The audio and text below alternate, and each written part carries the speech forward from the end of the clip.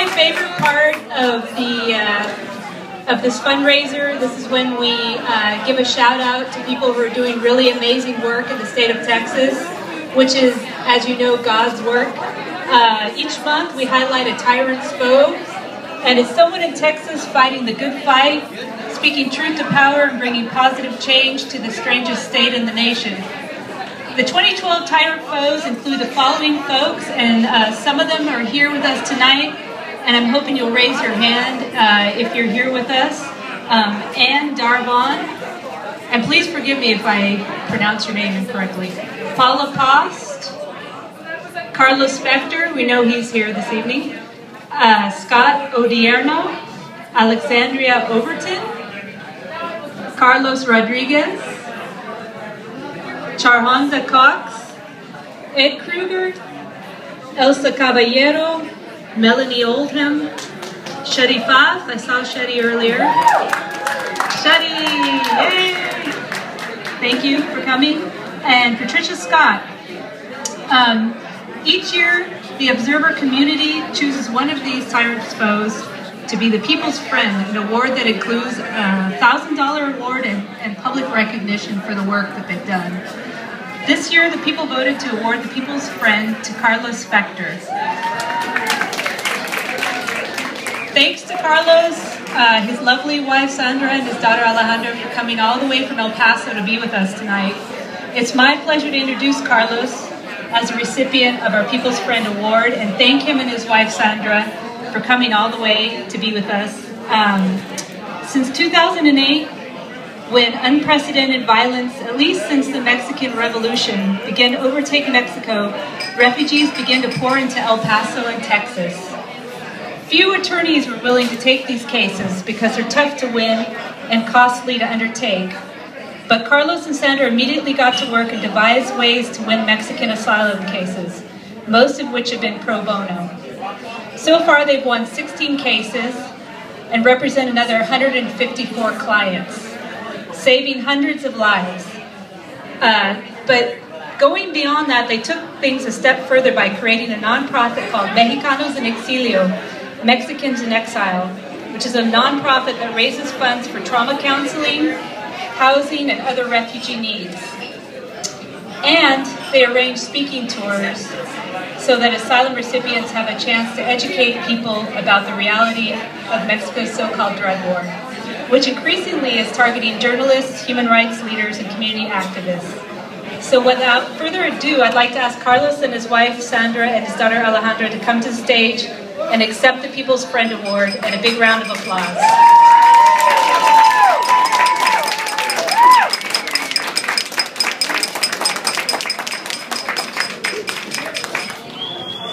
And I will now ceremoniously hand the $1,000 check to Carlos and he will then speak to you. Well, first I'll give it to my wife. Thank you very much. I'll try to be as brief as I can. Uh, of course, I want to thank my, my wife Sandra, who's been an activist for many years from Kingsville, Texas, and my daughter Alejandra, who now lives here in El Paso. I mean, here, here in Austin. In 2008, when President Calderon unleashed his war on drugs, uh, he sent the Mexican army to the north. With that came terror and abuse. Immediately, the numbers of murdered Mexicans and disappeared Mexi Mexicans uh, spiked. Also, during that period of time, we noticed that there was a series of human rights murders and kidnappings that were occurring just as the Mexican army came north. And so we started taking cases of, of people fleeing all parts of Chihuahua. A reporter from the center, central part of it, and activists from the border, who had one thing in common. The Mexican military had killed their family members, uh, massacring uh, eight of one family member who had a long, uh, long-term involvement with, uh, with activism and human rights in, along the border. And so we started going through the newspapers and found out that from the period of 2008 to 2010, over 50 human rights activists in Chihuahua were, were murdered with not a single arrest in none of them. And the only thing they had in common was that the Mexican military was involved. So we, we drew the connections and started taking the asylum claims. The initial ones we won, uh, the Salazar family, which was covered by the Texas Observer in, its, uh, in, in the only way that the Texas Observer could do. It brought to life the thousands and thousands of murders that were occurring and are occurring in Mexico and gave it a human face. A million dead is a tragedy. One, one murder is something that is covered. And so we took it upon ourselves to begin representing these individuals. And shortly thereafter, in 2010, I received a series of death threats and guns pointed at my office sent by the Mexican military.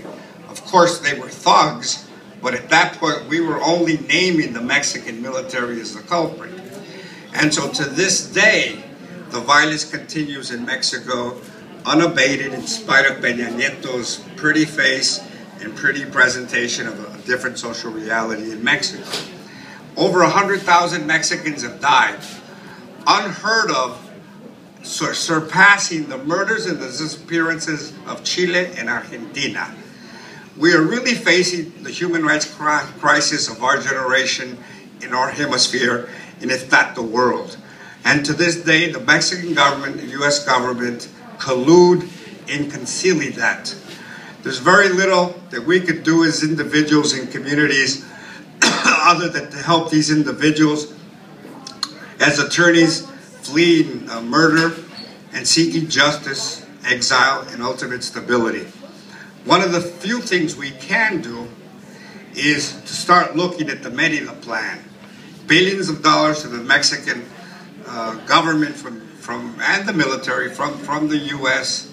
can be stifled, can be cut if there's a documented abuse and political pressure from within this country to withhold monies because of the human rights abuses. It's still relatively unknown, even in El Paso. It's something difficult to stomach, something difficult to understand, but the, the Texas Observer has, has, has contributed to that. And, and I really do, uh, do, do suggest that for those of you who haven't read it, read Melissa del Bosque's piece in Guadalupe. It's a town that we opened the doors to. That's where my mother is from, a little village in the north where I grew up uh, during the summers, and something that's dear to us, but she brought it to life as it is dying. And the only way that we as a community, as a state, and as a nation can continue to monitor this is through events like this and through the coverage through the press, which really few, few agencies throughout the country are covering. And for that, I thank you for, the, for, for your coverage, for the existence of the Texas Observer, and for having us here tonight. God bless you.